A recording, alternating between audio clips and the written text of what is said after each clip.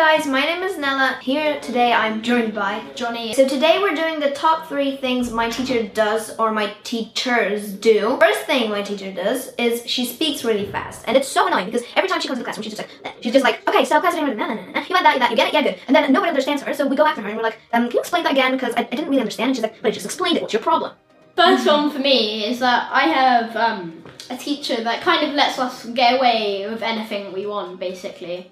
So, say if we drop something by accident, which isn't too important but kind of mandatory for the lesson, he would kind of just let it slide and say, "Don't worry, guys. I'll just I won't tell the teachers. Just put it there and I'll sort it out." Yeah, that is really lucky. So my next thing is this really weird thing that she does and annoying. It's quiet and loud and it looks something like this. Okay, so she comes in. Uh, uh,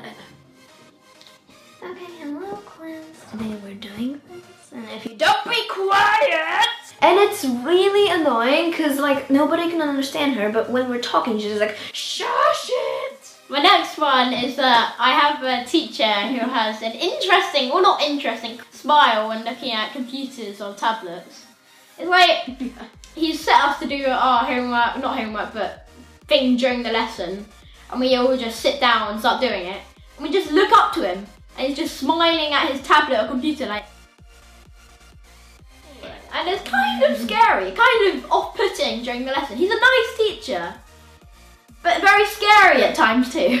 Okay, so the last thing on my list is um, my teacher always like um, runs away in the classroom, and what I mean is like she uh, goes on her iPad or she's like checking something on I don't know the register, and then um, we have a problem or something like I don't know how to do that calculation or something, and then I go after her and she like doesn't hear me. She goes to the other end of the classroom, and I'm like, Miss, excuse me, miss, and she like completely doesn't hear me. And when she turns around, she's like, oh yes. I'm like, did you not notice me?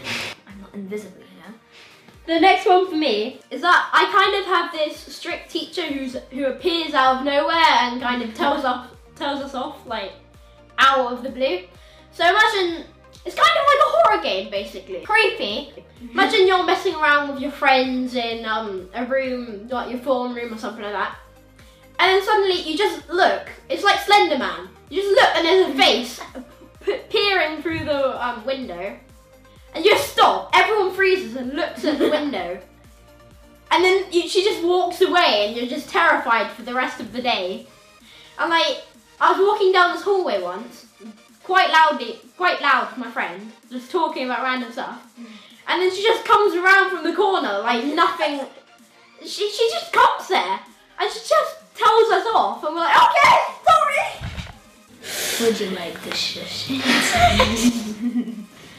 Um, You're really loud today.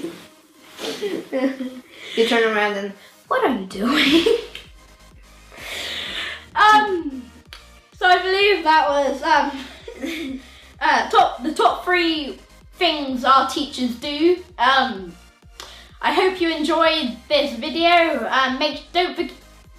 Make sure to not forget to subscribe and leave a like if that's how you say it. And we'll see you in the next video, I think. yeah, thanks for watching, guys. Bye. Creepy.